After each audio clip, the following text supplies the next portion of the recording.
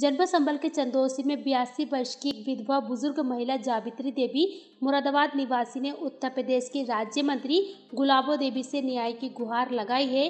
बयासी वर्ष की एक विधवा बुज़ुर्ग महिला मुरादाबाद के दीनदार पुरा निवासी के साथ उसकी एक बड़ी बहन सावित्री देवी, छियासी वर्ष विधवा व निसंतान पिछले साठ पैंसठ वर्षों से साथ में रहती है।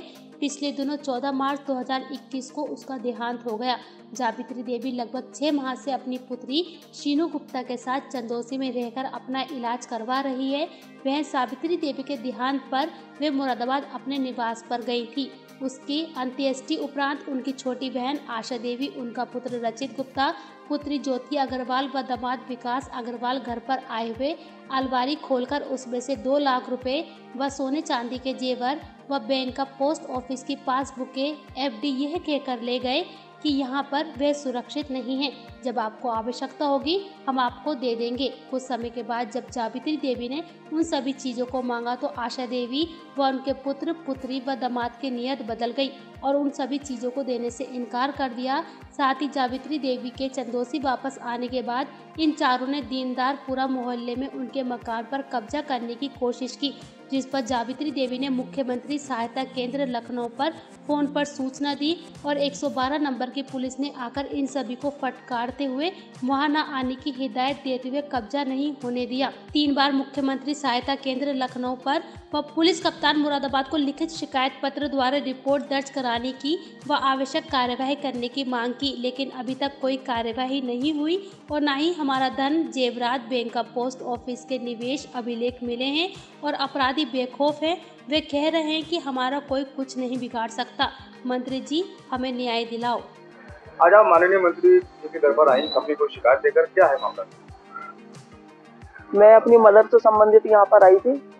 मेरी मदर तीन बहनें हैं। मेरी मदर से बड़ी जो थी सावित्री देवी गुप्ता, हमारी बड़ी माँ, वो नौ साल की उम्र से विडो थी और शुरू से ही मेरी मम्मी सावित्री देवी के साथ रहती थी।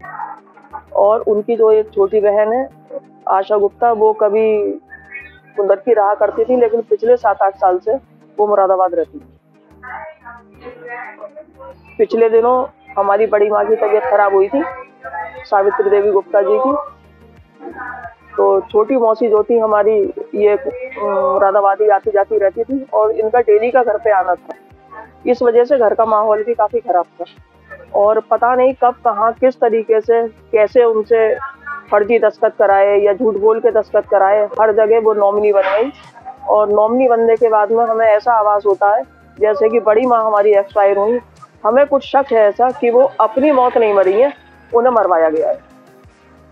ऐसा डाउट होता है। आपने मंत्री जी शिकायत की कुछ रुपए वगैरह कुछ जेवर और कुछ कागजात हाँ लगभग ये कागजात चोरी करने में हमारी मौसी आशा गुप्ता और उनके दामाद विकास अग्रवाल उनकी बेटी ज्योति अग्रवाल और उनका बेटा रचित अग्रवाल। ये चारों लोग उस दिन से जब से हमारी बड़ी माँ एक्सपायर हुई थी चारों लोग घर पे ही सोते थे। तो उनसे ये कहने लगे कि आपकी तबीयत ठीक नहीं रहती है। हमारी माँ से ये कहा आपकी तबीयत ठीक नहीं रहती है और ये सामान यहाँ पर सुरक्षित नहीं है। इसलिए ये सामान आप हमें दे दो। आप जब हमसे मांगोगी तब हम आपको ये दे देंगे। क्या क्या सामान था? उसमें सामान था लगभग दो लाख रुपए कैश हमेशा रखती थी वो। और आठ, सॉरी, दस तोले की उनकी मटर माला थी। हमारी मम्मी की शादी की ही मटर माला थी। और एक लगभग ढाई तोले की उनकी चैन थी, एक हमारी बड़ी माँ की चैन थी। दो अंगूठियाँ हमारी मम्मी की थी, तीन अंगूठियाँ हमारी बड़ी माँ की थी और दोनों के कानों की थी। और बैंक की किताबें थी काफ़ी, मकान के कागज़ थे, पोस्ट ऑफ़िस की काफ़ी किताबें थी। और उसमें कैसे कैसे, क्या था इतनी तो जानकारी हमें इससे ज़्यादा है नहीं उन्होंने तो उनकी रिकॉर्डिंग्स हैं। उन्होंने ये कहा है कि ये सामान हमने निकाला है जैसे हमने निकाला है तुम्हारी हिम्मत क्यों नहीं हुई? तुमने क्यों नहीं निकाला?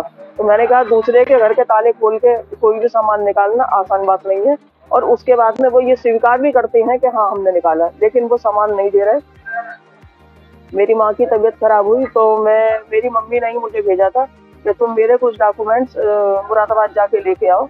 मैं मुरादाबाद मुरादाबाद से एक वृद्ध महिला आपके पास आई है अपनी कुछ शिकायत लेके इसमें आपने इनसे बातचीत की और कप्तान साहब को मुरादाबाद फ़ोन भी किया तो क्या है पूरा मामला? ये महिला जावित्री देवी है इनकी सतासी साल की उम्र है। इनकी एक बेटी चंदोसी में ब्याई हुई है सीनू गुप्ता।